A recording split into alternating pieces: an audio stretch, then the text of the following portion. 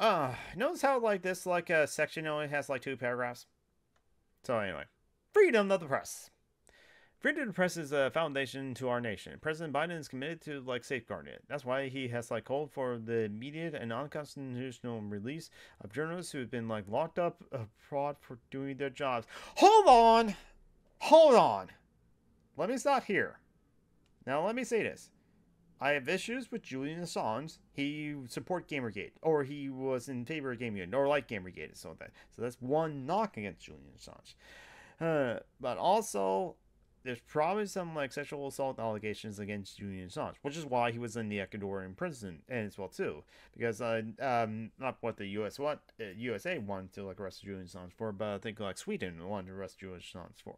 So I'm going to assume that like you probably should not be in the room alone with Julian Assange, especially you're a woman or a femfolk as well too. Oh, or just watch out.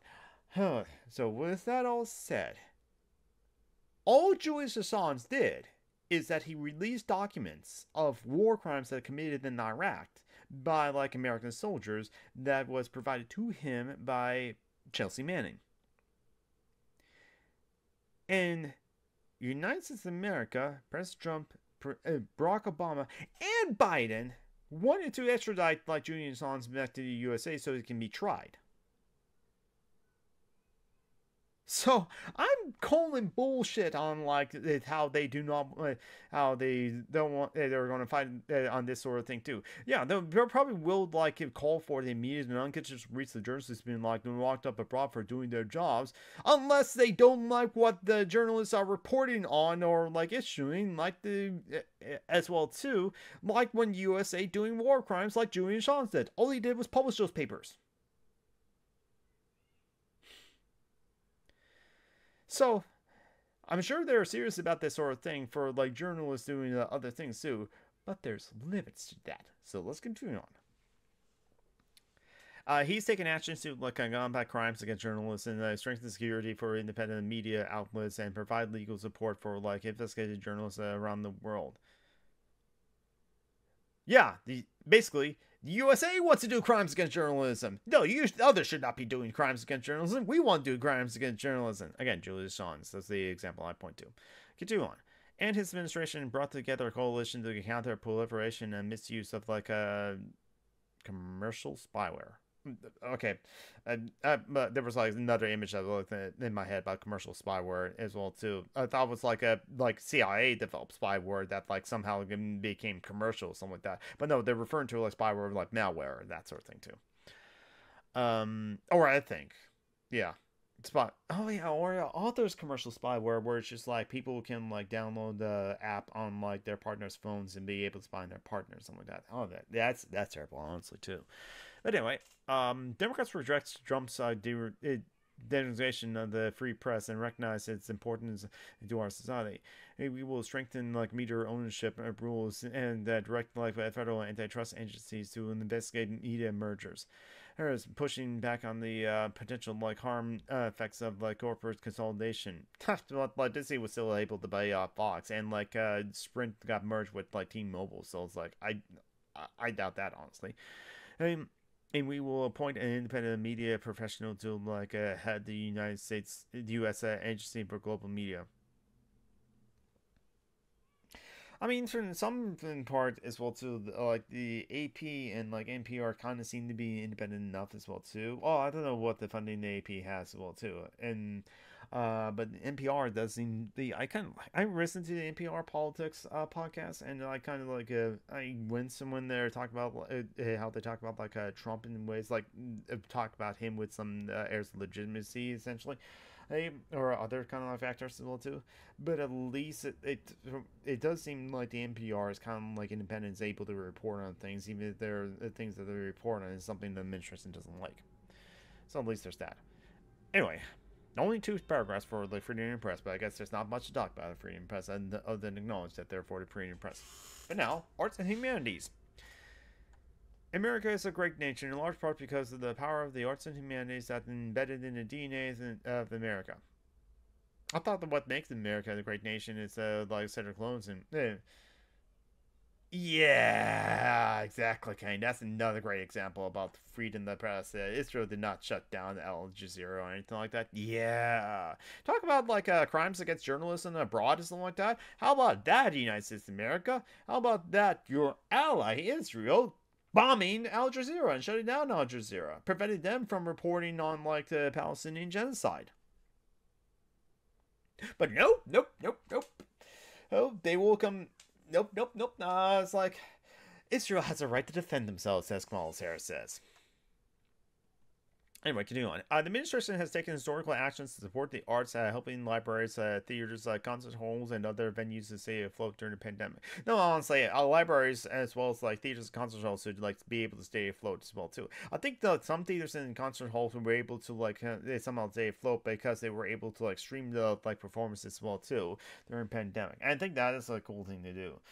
Um, and I think like some concerts can definitely be like performed with like social distancing as well too um or at least just like give those like uh, places money so they can like you know like uh eh, pay people to like stay at home and like uh, keep owning those uh, places so like when the pandemic was over that people come back and come back to those things as well too.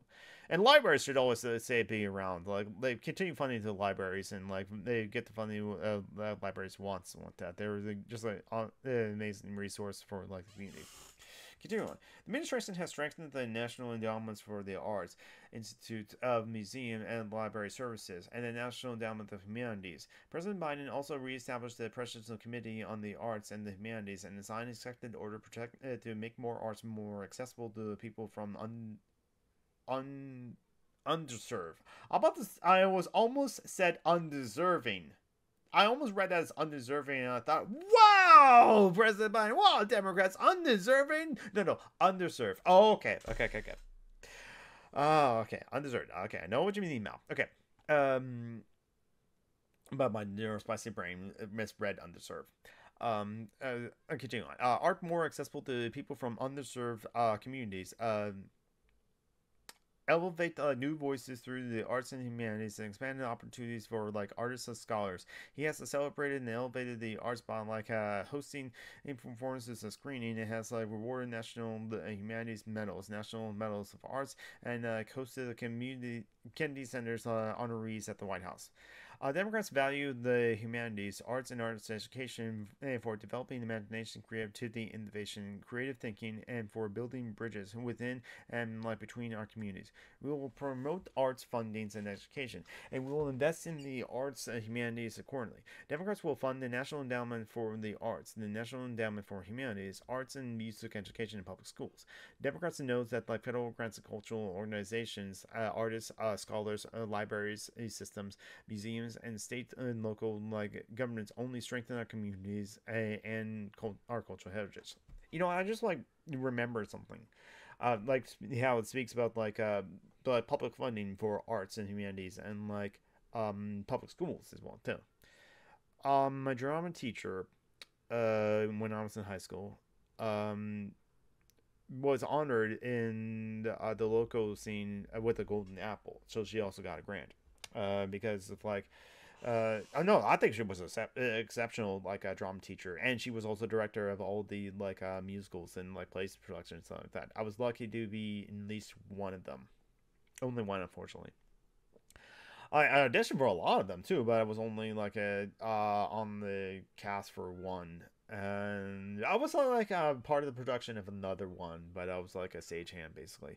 I was just like handing out a prop uh, in one scene. That's it. I was in the background, and uh, but like she when she like accepted her Golden Apple Award on local television um in PBS, she one thing she like talked about is that when public schools have to cut funding for things in order to eh, because of budget constraints, why is it always the arts that are first to cut?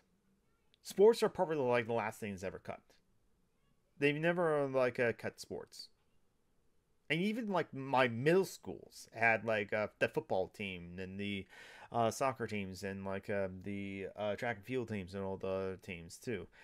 Um, and even in middle school, the, the middle school football team played against other middle school football teams as well too.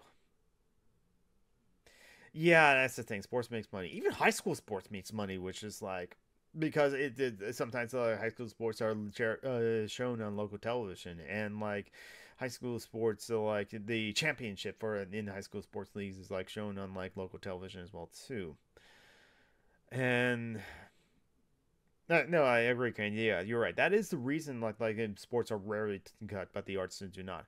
But like, I think also if like one thing I think if like the Democrats are serious about the arts and humanities as well too and protecting and ensuring arts and humanities too, we also got to like figure out a way for like because there's always a stigma against like arts or like art history or those kind of uh, other non-STEM field degrees is like, oh, how are you going to make money on that?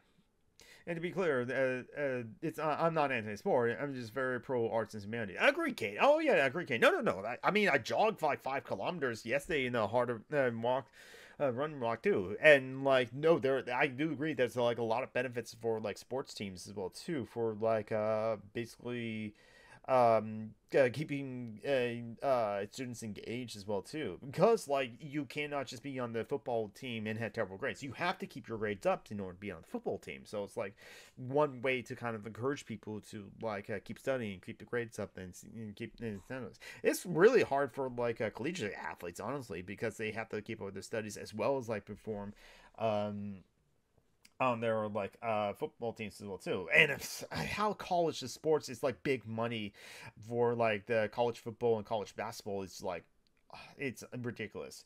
Especially since how those athletes are not paid. It, and there's a whole host of issues with that too. Um but yeah it's like artists.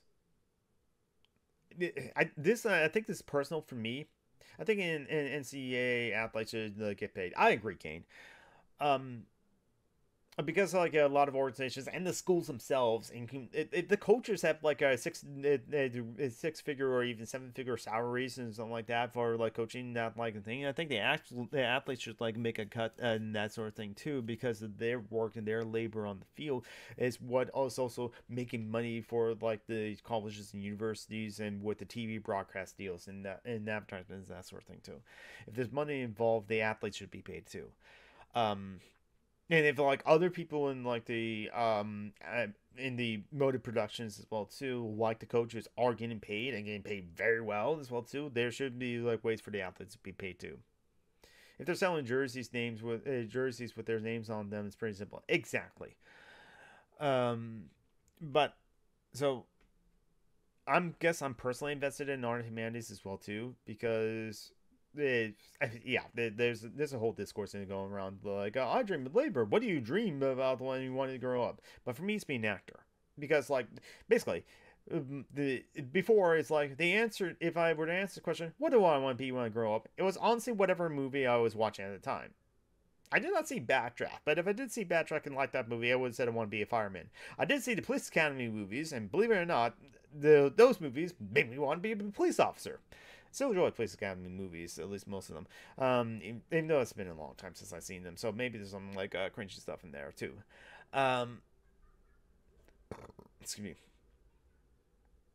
Uh, but it's like if I saw Star Wars, I want to be a Jedi Knight, even though I know Jedi Knight's not an occupation. But that's the thing too. I kind of realized like in middle school. Wait a minute. If I'm an actor, I can be any one of those things too. One time, one day I can be a Jedi Knight if I'm an actor, and another time I can be a police officer when I'm a police officer. As far as I can remember, I always wanted to be like a test pilot and eventually an astronaut. Hey, see, hey, I think I probably want to be that too, er, probably because I've seen Apollo 13, or I did not see the right stuff. I should though. Oh, but if I saw a movie, oh no, it was Armageddon. I was young enough when I saw Armageddon, and like it made being astronaut look cool, or it also made being astronaut seem to be easy because you could just train oil drills to be astronauts as opposed to training astronauts to be to operate a drill. That was a silly, silly, silly movie. Um, but if I'm an actor, I can be like an astronaut as well too. But the reason well, there's also some personal reasons, so like not want like escape my comfort zone and like move to. Hey, I don't know the first like uh, face-based movie I saw, likely Star Wars. Yeah, I mean I want to be like a fighter pilot because of like the uh, battle for Yavin 4 in like Star Wars. That's still one. If like, and it that scene, yeah, like uh, got to eat this food as they were finally ready. So returns. That was the video but that's the thing is, so the reason why I'm so passionate about the arts and humanities is because I want to be an actor. But the reason why, the honest reason I've never fully pursued the acting as a career, basically, or like support myself by acting, is where too. I know that it would be hard to do so. I know that like I would do like bit parts, so like commercials would be extras if I'm lucky to get that.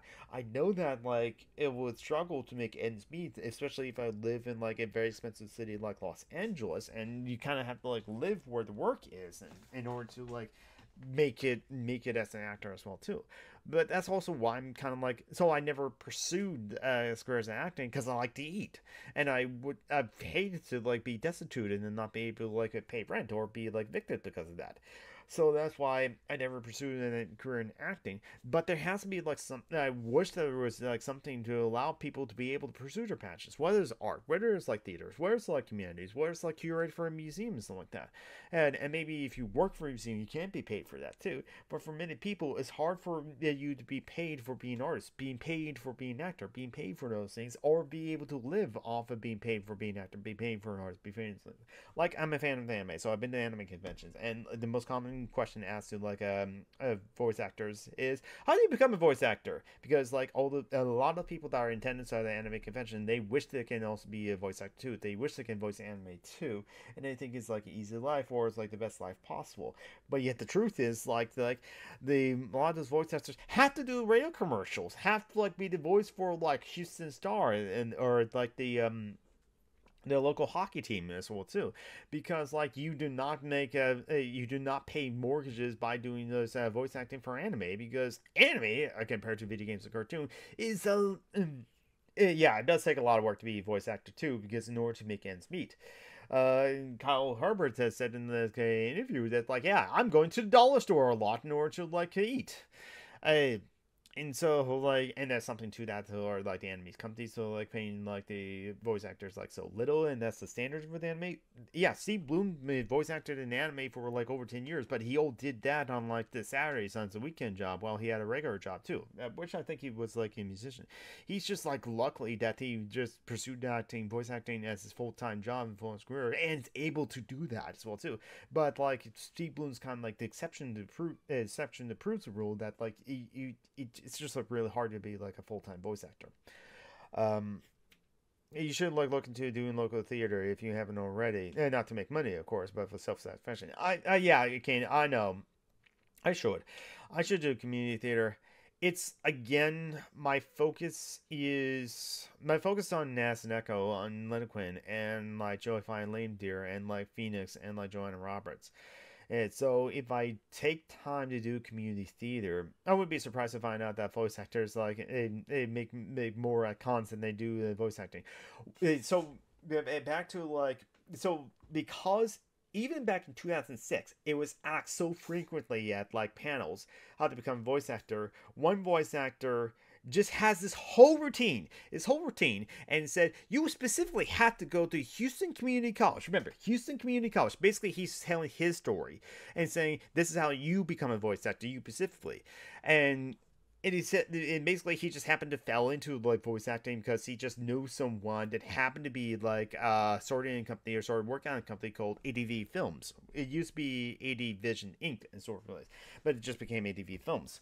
Um and now and then it has to be it has to be 20 years ago. Exactly, Kane. But like he said at the end of it, in back in 2006, he makes only $11,000 a year from voice acting. And he's been in a lot of animes and working for ADV Films, they, there was a lot of anime released at ADV Films in 2000, early 2000. There was a lot of anime released in the early 2000. From Geneon, from like, um, that was used to be Pioneer, and from Bandai, when back when Geneon and Bandai used to release anime in the United States of America. Um, and then there was ADV Films, which I think changed the company's names to Shell Game, and they became Sentai Filmworks. And I think Sentai Filmworks is still around. is now like a HI a HIDIVE but then Funimation just uh, like we got bought and sold a couple of times, but didn't pay it for a while, and then like got absorbed by Crunchyroll, and so now Funimation is now Crunchyroll dubs. which I I, I haven't been following the anime industry in America for a while and something like that. Then to hear that, it's like, wow, Crunchyroll owns Funimation now. Okay, and then also Crunchyroll now owns Right Stuf. RightStuf.com was used to be a great place I got bought anime from, and included porn games, honestly. Hey, but now like Crunchyroll owns that, so now like Crunch uh, now RightStuf RightStuf.org or Right Stuf like uh, uh the anime uh, the superstore of like America is now just like Crunchyroll store, and they stopped selling the porn games. Yeah, well, say la. There's still like a porn game uh in there are still uh, companies that sell porn games uh, here in America as well. Too. Maybe MangaGamer is still around, and then uh, JAST USA is like still around, and some of the old uh, like porn games that like I did uh it have uh got like it's like you can still get them off of like um JAST USA as well too. That wow, I'm reading. Hmm, the porn, yeah, porn forums, like. And it, Kane, I just realized I just realized, oh god, Kane, look at this. DC, Puerto Rico, and territories. Uh, we were just talking about that when I mentioned Hawaii. Oh god, that's going to be the next section. Let's see what the Democrats say about that. And here's the thing. I'm I'm reading the Democratic Party platform, and I mentioned porn games in the stream. Well, Welcome to some running games like a political stream where it's like, um, uh, in before, like, it's terrible. Yeah. Welcome to the Brian Summer Geek uh, political streams where I mentioned, like, uh, some places where you can get some good porn video games. And on that note, let's take a self-care break. Outro video time. Yes, this time I'm actually making an outro video instead of just having text up here. So, if you like the video, press the button to give it a like. Helps out the video as well too. If you dislike the video, that button is there too as well. Oh, doesn't matter. Helps the algorithm and helps the video either way. Uh, you can also leave a comment if you disagree with something that I said, or you just want to say, "Hey, I like this video," or something like that. That will help out the video as well too. Don't forget to subscribe if you haven't already as well too. Um, there's getting those subs numbers up always helps as well too. And uh, also don't forget to share around the video to like all your friends, uh, all your enemies on the social medias, and be like, "Hey, check this out," or or listen to this, or will you check out this person that's uh, rambling about so many different things? Yeah, that will help the video as well too. And also over on the sides of my face right now, or covering the face as well too, should be like the buttons for like over no over here for like to subscribe to the channel if you haven't already, and also social justice alchemy if you haven't checked out that like uh the channel. It's a weekly uh, live stream show, the YouTube live stream show that I, I am sitting around with a bunch of my friends, a bunch of other anarchists and leftists and socialists to talk about like current events, news, uh, politics, feminism, anarchism, socialism, communism, and various other things, even cats, even like pop culture as well too. And over on like the of here should be uh some videos as well too for like that I recommend you check out as well. Or it's over here. I don't know. It around my face. There's should be those buttons that you can click on as well too. All right. Thank you for watching.